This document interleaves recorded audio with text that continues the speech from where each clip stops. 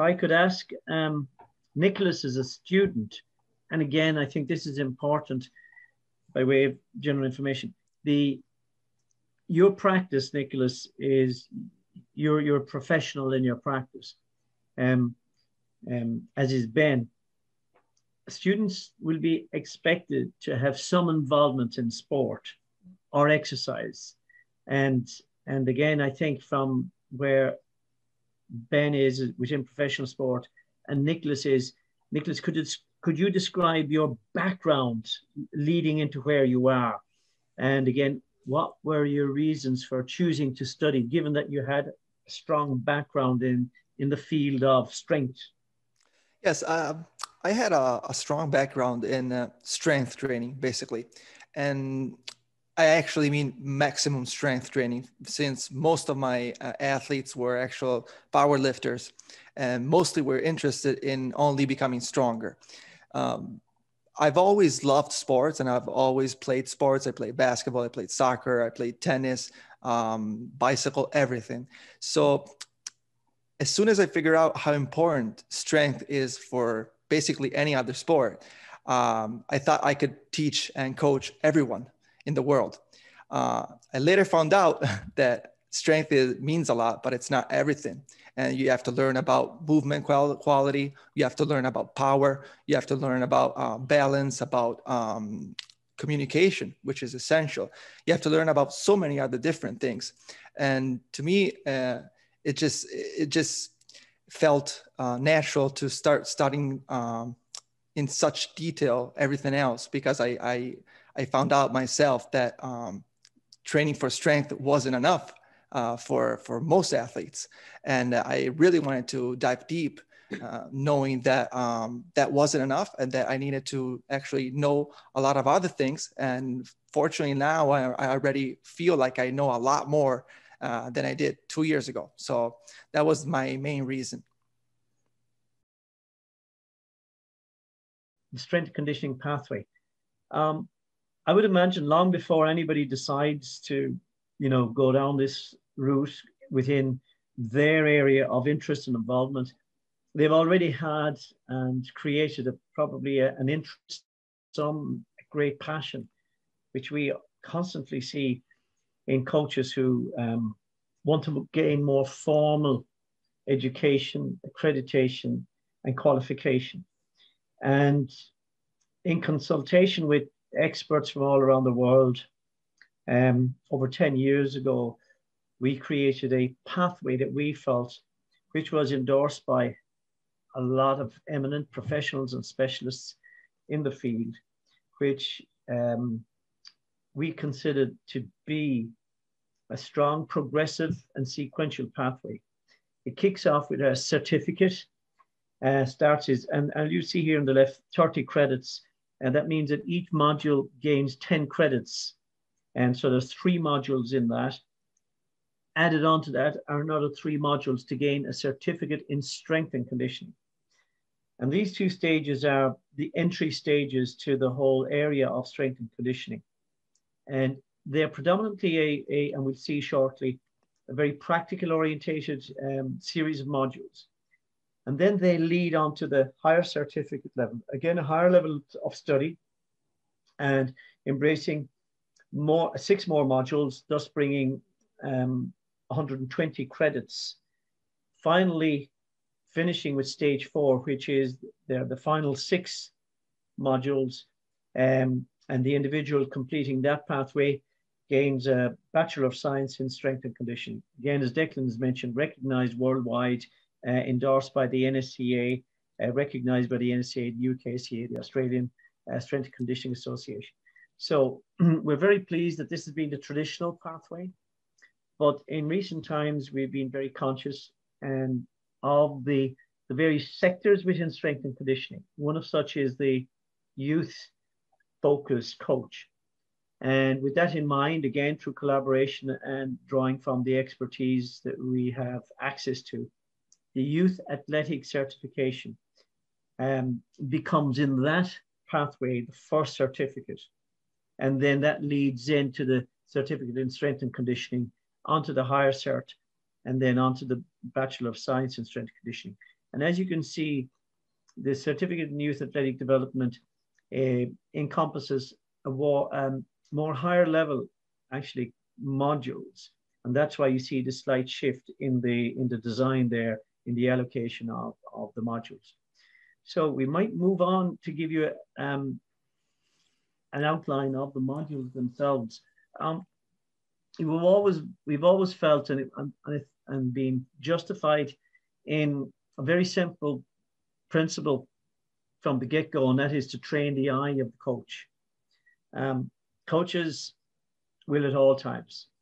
Nicholas, Ben, myself, and you and yourself as coaches, you will be ensuring that you make decisions based on what you see and what you observe. But you draw from all resources. Well, yes, technology now plays such a an emphatic and, and fascinating role, but we will always wind up using our eye, using our face-to-face connection with our athletes or our players or our clients. We, we will always draw upon those communication elements. And functional screening is where we start. We start at training the eye for assessing one's gait, one's posture, one's movement quality, one's movement pattern.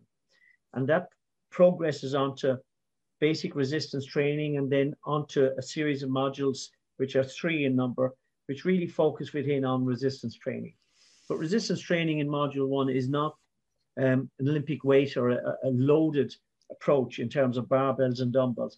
It's more of a an anatomical adaptation, um, a natural body weight um, methodology of delivering greater strength, greater stability, etc. It builds from what we've seen are maybe the needs and the requirements that we can provide for our athletes, our clients, our players from the early module, the initial one from functional screening yes, Olympic weightlifting, the novel methods within strength training, as, as Nicholas will be well aware of, and Ben as well, would, would be contained within resistance training two and advanced resistance training.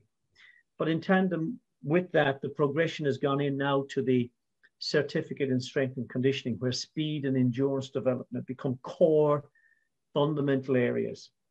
And as you can see, and I'm still on that traditional track, um, we all we also have the the more, I suppose, theoretical modules coming in where anatomy, physiology, and biomechanics uh, take place as you enter the higher certificate level.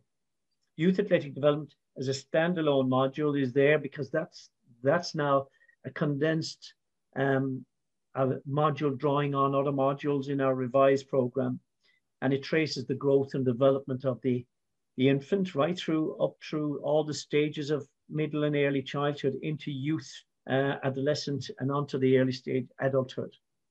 Um, sport and exercise nutrition, the critical core uh, module that underpins everything we do, um, moves on then into coaching skills. And, and this module, coaching skills, is, is about you know the traits characteristics of successful coaching but also a, a reflection there. It, it, asks us to reflect on how we interact and how we coach and what our style may be and can we lead that style onto a, a more um, appropriate style. Let's say if we're if we're authoritative or, or, demo, or democratic or cooperative you know all these styles perhaps we need a blend of all. And depending on the occasion and interestingly, they're talking with Ben before we started. Ben's style, I think, and it'll be interesting to hear him, may shift depending on even where he is and the culture that he is, is embedded in. So all these issues are addressed there within that coaching skills module. Coaching technology. Technology in, the, in recent years has become a real exponential, um, an exponentially increasing um, involvement in strength and conditioning and in our practices. And we don't expect everybody to be um, a biomechanist in order to be able to actually use technologies. No, we have looked at the very applied, practical, and and I suppose coach-friendly ways of applying technology. Um, we're all we're all very familiar with global positioning systems and some of us may well be, uh, may well have used GPS within our team sports. Some of us may not. Um, but the awareness of all the all the different technologies is at the core of this module. As it is then in applying technology to fitness testing, testing the status of an individual, a client. But we don't totally rely on technology here either. We use some very rudimentary, fundamental, basic tests that are still the cornerstone of our, of our practice. Finally, the final module there within that higher um, certificate level is the business of fitness and sport. And again, we have we've seen over recent years the broadening out, the the creation of um, relevant to strength and conditioning as a focus or exercise of the focus businesses, entrepreneurs developing their their um, businesses focused focused on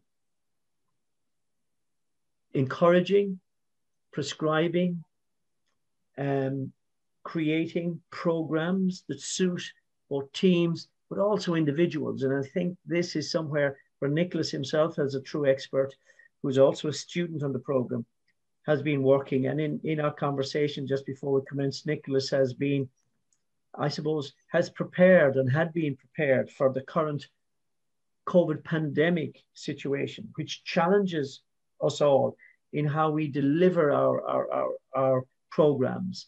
And again, the business of the coaching technology, the coaching skills, all these modules are wrapped up and now become even more important during the pandemic times where we need to gain skills, we need to gain insights and technologies in order to help us um, interact, communicate with our teams, with our clients, etc.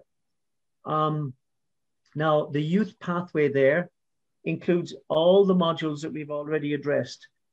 But starting out, the start out modules for the youth pathway uh, starts with coaching skills and moves on to speed development and youth athletic development. And, and again, I've mentioned what the coaching skills, their fundamental focus is. It's on that communication, the understanding of our styles. So that pathway, as you can see, has a little bit of a different starting point. And that's so that that individual who is interested in youth can immediately immerse themselves with good current skills into youth programs. And finally, then coming on to the final six modules, injuries and rehabilitation. You know, it's it's interesting and it's a, a topic that coaches and scientists are still debating that, you know, the hamstring injury, for example, in team sport isn't reducing in recent years. In fact, it's stabilizing and increasing in some areas. And with all our science and our, our, our, our, exact programming, this is a real interesting challenge for everybody. But yet there's there's messages there that we may not be listening to. There, there are little insights and, and, and factors that are related to that. And I choose to, to highlight that simply because our role as strength and conditioning coaches is not just about prescribing a program and, and coaching through exercises. It's about understanding the etiology and the factors that are associated with injury in sport and exercise. And our ability to understand those and be comfortable with the jargon, with the principles, with the biomechanics, with the science and the medical elements within that does, don't make us, that doesn't make us an individual who is qualified to diagnose. It helps us to be those who can assist in a fundamental goal of all our programs, that is to seek to reduce risk of injury. And working collaboratively as well is another, is another aim out of that particular module so that we can work collaboratively with uh, the medics, with the therapists, etc. Strength conditioning for special populations is uh, another very interesting module that draws our attention to those who have special needs and who have disabilities. And it also includes perhaps um, diverse groups out on the extremes, in other words, extreme participating athletes as well. So that module gives us a broad awareness of the diversity of demands and challenges our skill to be able to meet the demands and the needs of the individual individuals, be they in team, individual, or extreme, or within disability sports.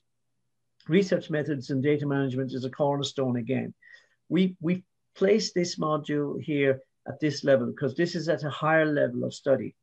And all the preceding modules allow us to develop the, the skills, the practical skills, coaching skills, the insights, the knowledge. And now here we're, we're challenging ourselves and we're challenging you um, to become far better at data management, at recording, and then at creating and designing interventions and studies that will prepare you then for future study, but also for taking over that management role within, within a team or sport setting or within any exercise setting.